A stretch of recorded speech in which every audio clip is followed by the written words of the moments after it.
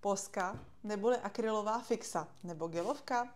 Eh, všechny tedy ty pomůcky můžete zapojit do vašeho kreslení, když chcete kreslit něco, jako třeba světlé fousky. Ale jak k ním správně přistupovat, tak aby vás poslouchali, tak to vám vysvětlím v následujícím videu. Ať už gelovou fixu nebo akrylovou fixu, všechno, co je na bázi nějakého eh, jiného média, než je pastelka, tak je potřeba k tomu přistupovat určitým jemným a pozvolným způsobem. Pokud chcete udělat nějaký světlý detail do něčeho, kde už je kresba téměř hotová, eh, něčím jiným než je pastelka, Používám ráda spíš než gelovku akrylový fix, konkrétně posku.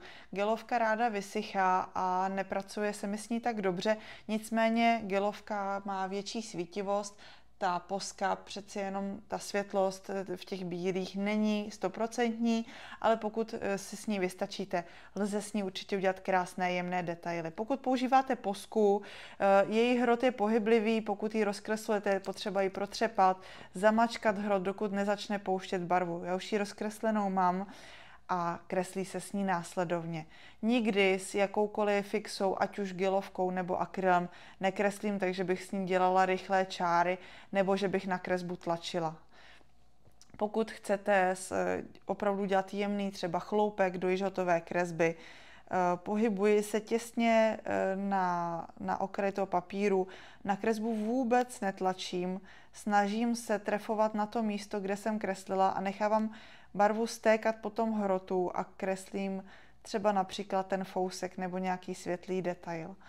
Do té kresby se můžete víckrát vrátit, můžete těsně třeba před uschnutím tu linku ještě znova projet pro větší zářivost. Nedělejte to hned, protože ta akrylová fixa musí trošku zaschnout, pak až teprve do ní lze přidávat další vrstvu, aby to bylo svítivější. Pokud dáváte akrylovou fixu na pastelku, eh, klidně udělejte tah trošku širší, nebojte se toho, lze to potom eh, seškrábnout.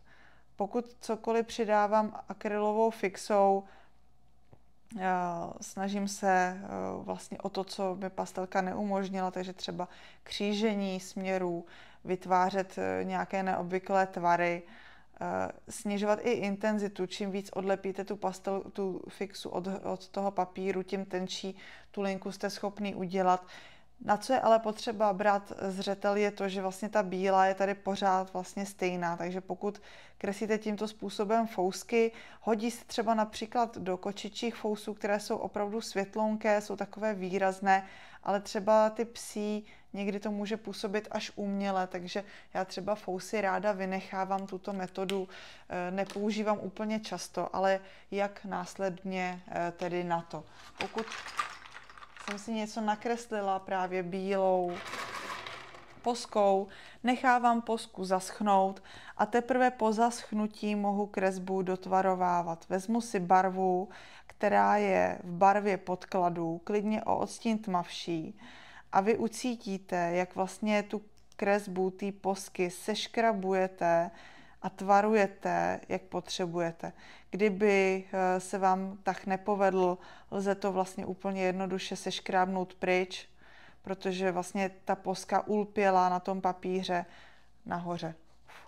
A díky vlastnostem pastelky, což, což je to, že pastelka je vosková, je mastná, vy můžete uh, vlastně tu posku z toho dát úplně pryč a dotvarovat ji do požadovaného tvaru pomocí pastelky a ostrého hrotu tušky. Každý fousek má svoji tenkost, je potřeba to tam znova dostat. A současně s tím, když pak používáte pastelku, která je o trošku tmavší, než je ta pastelka v tom podkladu, tak vy vlastně znovu přidáváte stín pod ty vytvořené fousky či jiné detaily, které jste s tím udělali a tím dostáváte vlastně ty světlé fousky na povrch. Kdyby se to nepovedlo, jenom se škrábnu. Samozřejmě něco málo to po sobě zanechá, ale úplně minimálně. Takže jestli si z toho něco zapamatujem, netlačím, nespěchám, nechávám volně stékat, nebojím se toho, co to udělá potom a následně po zaschnutí dotvarovat pastelkou v podobné barvě, jaký máte podklad. Tak jo, ať se vám video líbí a vaše kreslení ještě víc. Mějte se hezky a zase příště naslyšenou.